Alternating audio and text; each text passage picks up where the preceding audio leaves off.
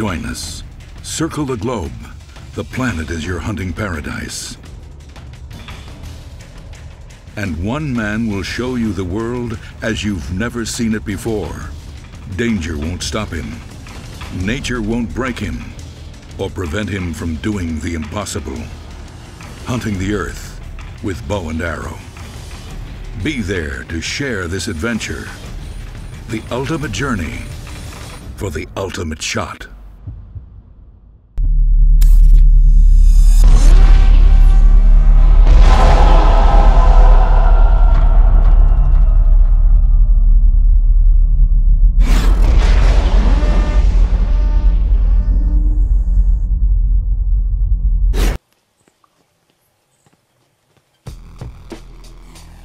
Bow hunting in Russia. It's not legal to bow hunt in Russia. And we have tried for decades to get permission to bow hunt in Russia. We're running out of time, and this year we thought we had a permit, but it wasn't granted. So we're here to rifle hunt. We'll be climbing the Caucasian Mountains now for two weeks after our tur and all the other species. We're rifle hunting in Russia. It's gonna make a lot of noise. At least, at least, at least they won't jump the string. Brasner 3378 is really very loud, but it is very accurate too. Finally to Russia. We've been talking about Russia for about 15 years, and we run out of time, so we came to hunt. Stay tuned, we're gonna hunt the Caucasian Mountains. In uh, Russia, do as the Russians do, right?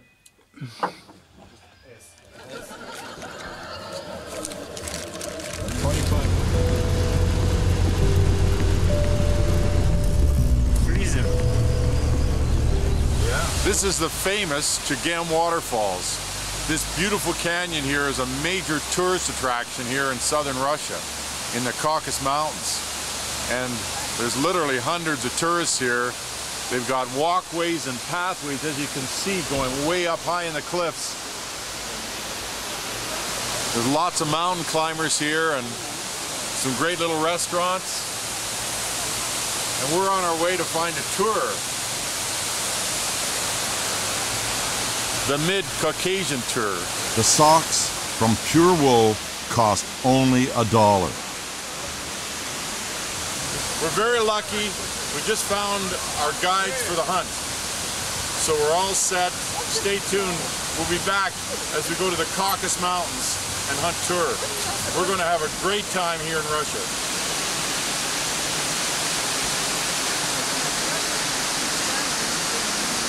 On the way to our base camp, we stopped here to be instructed in safety procedures. That's obviously our tur mountain.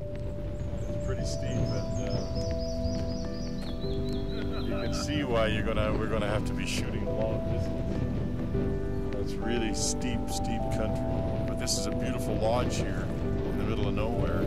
So we're gonna go check it out. To meet with the head of the hunting area and have a look around the interesting recreational facility which serves as the final observation post of the hunting areas.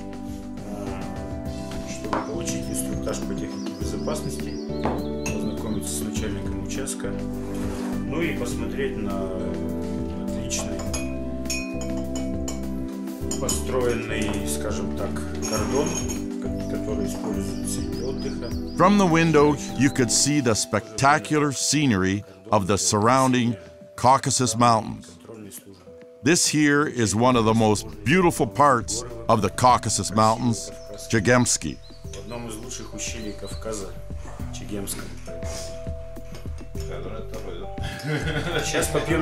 Now дальше. we will have some tea and continue further.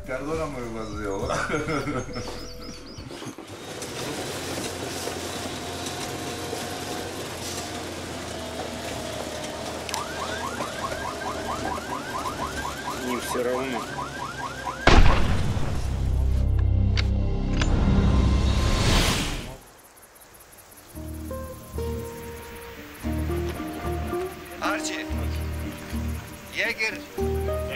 Archie. Jäger. Jäger. Omar. him off. Archie. Archie. Yes, Archie. Okay.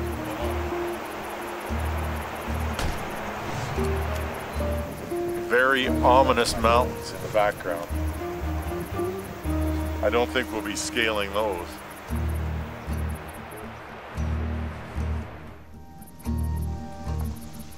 During the next hour, we rode the horses along a narrow trail, dug out by a powerful river, which looked, from the elevation at which we were, like a mountain creek. After a short break, on towards the peak again. That was a steep climb for the horses and heavy, heavy packs. I mean, it's really steep. And we go up through this chute.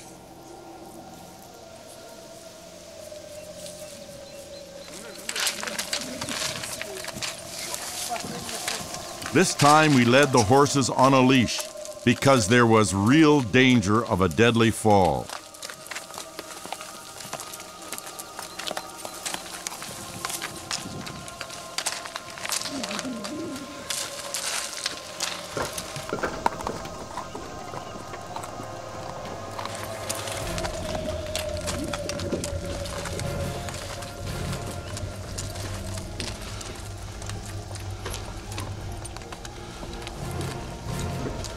The sleeping bag, which got untied from the saddle, rolled for a long time down the rocky scree.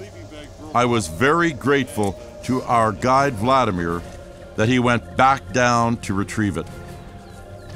Sat down for a break and uh, give my horse something to feed. We just broke over top and there's a, a male tur right here on the skyline. Low, very low.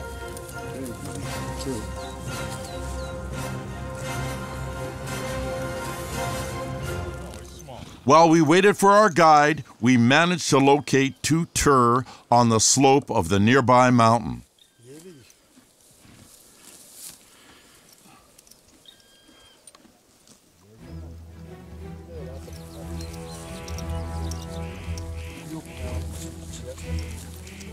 Our mountain guide Omar made the decision to try to approach the tur, and I followed it. У нас тура появился. А? Тур появился.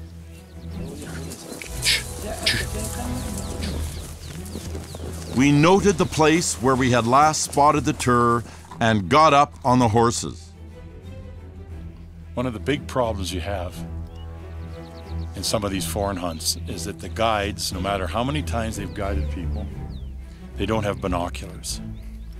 So my guide took my binoculars from the start, and I never had them. And once he gave them to me to find the tur, but I'm sitting there with a six power. He's got my 10 power and my great Swarovskis. One of the great problems for me was finding the tur. And I could find the little one, I couldn't find the big one. And then when they started to move with the sun facing us and that glare, it was just impossible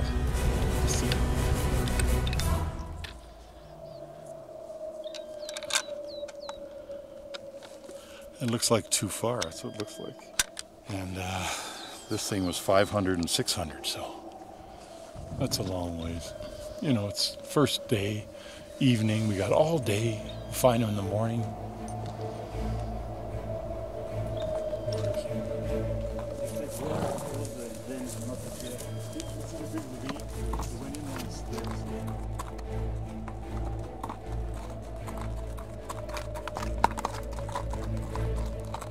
The base camp would be in immediate closeness to the ruins of an ancient stone building. We quickly put up our tents and agreed to start on a reconnaissance trip early in the morning.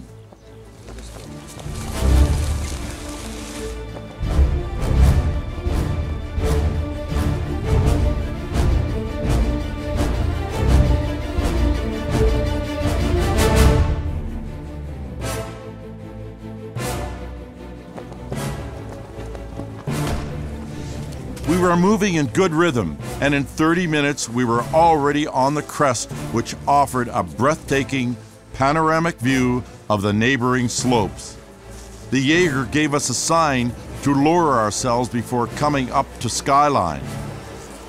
After the last hilltop, an interesting spectacle was awaiting us. Several goat were moving on the slope a kilometer from us. The distance was too far for a shot, even for my made to order Brasner. I could only follow with my eyes the virtuoso leaps of the goat over the bottomless abyss under their feet.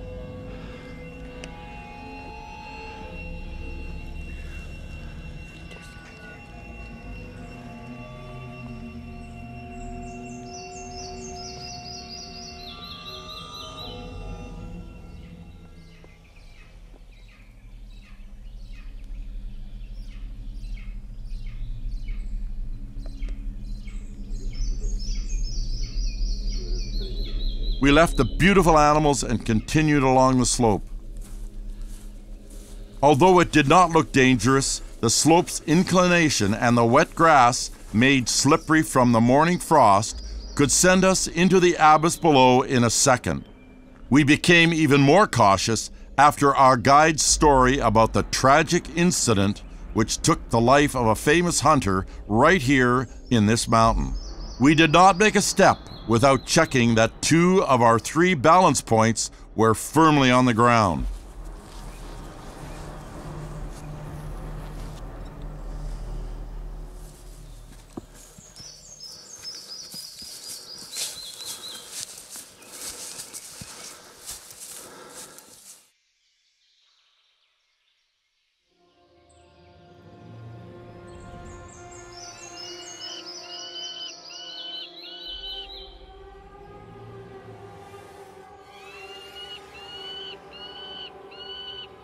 At the end of the ridge, the peak thinned out to only a few meters in width, and we had to crawl along an 80 degree slope which fell off a kilometer down over some pointed rocks.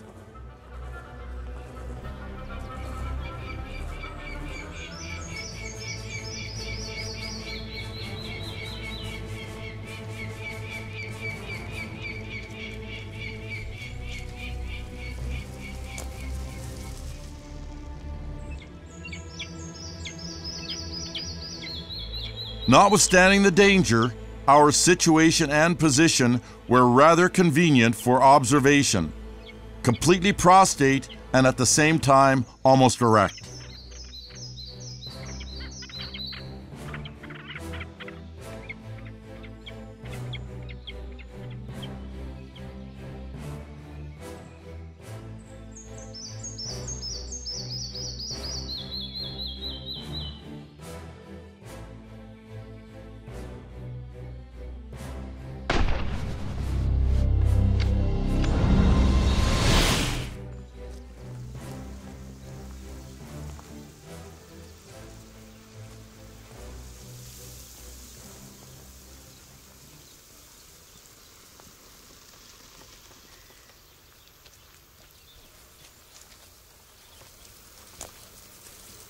There was a heavy frost last night. It froze really hard.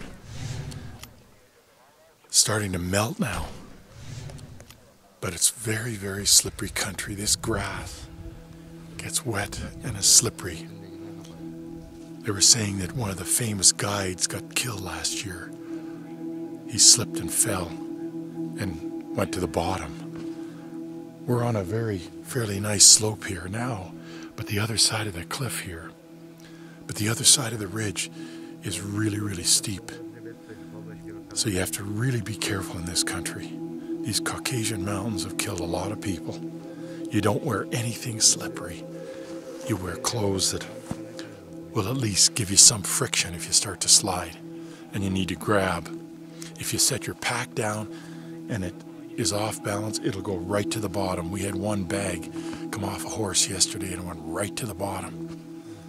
We had to go all the way back down. One of the guys had to go all the way back down and get it. The other thing is, today,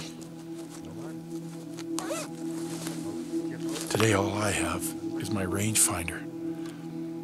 I've got an adapter, spotting scope adapter with me, but I had to give my binoculars to one of the other guides who's gone off looking for tur somewhere else. So I'm without binoculars. Remember, bring a second pair of binoculars. You would think these guys in this country would have their own binoculars because they're guiding all the time and hunting all the time, but they don't. Always bring a second pair of binoculars and bring a spotting scope.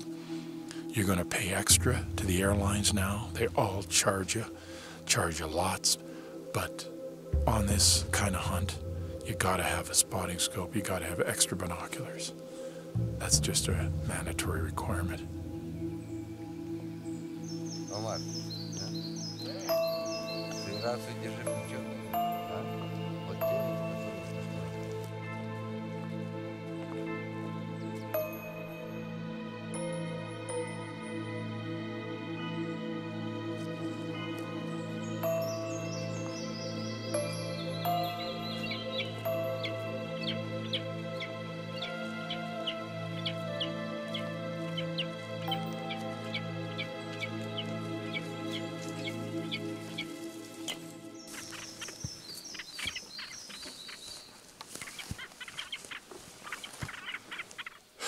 Two guides are doing some spotting.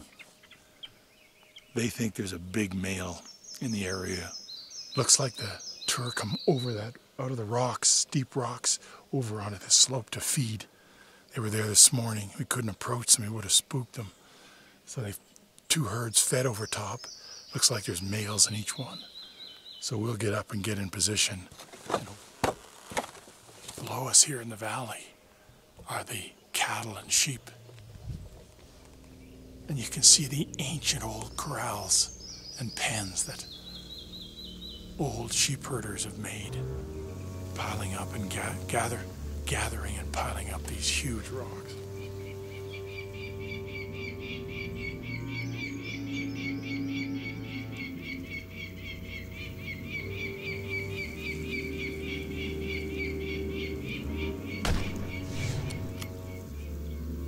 Adamy, our guide, tried to make the tur show up if there was a herd below us. The falling rocks would surely make them come out of their cover in the rock niches. The eagles are. Are those eagles? Yes. Eagles. Those kill the little babies. That's what they do.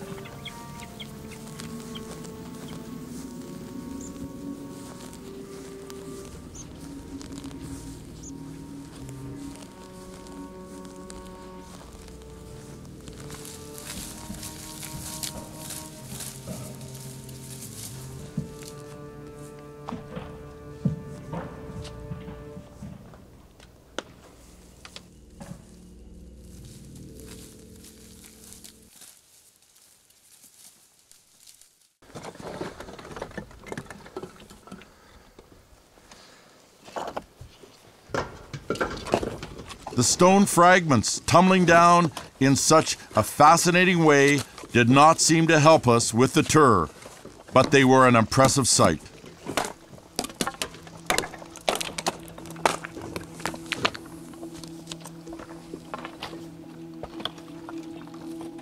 The uneven rocks often created traps in which you could easily break your leg or sprain your ankle at a minimum. This is either going to be good or it's instant death, right? Yes. Excellent vitamins. Good or, or instant death? this all? Okay, yeah. okay. Enjoy now. Hmm. We try to push animals from the forest uh, because uh, before, like mm, 10 days earlier, guys found a group of uh, totally like about 10 or 12 rams down below nearby forest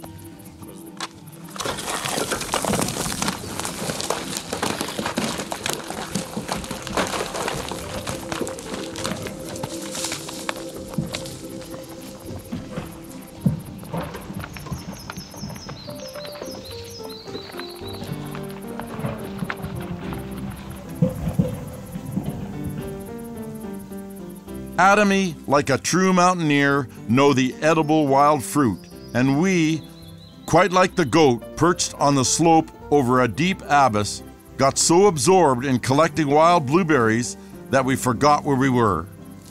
Our morning reconnaissance hike was unsuccessful, although we had seen plenty of goat. However, our guide heard on the portable radio from the other Jaeger who was on the opposite ridge with the same reconnaissance mission that he had spotted a herd and there were several nice trophy animals in it. We would climb stone screes and stalk tur, but you will have to see this in the next episode of Ultimate Shot.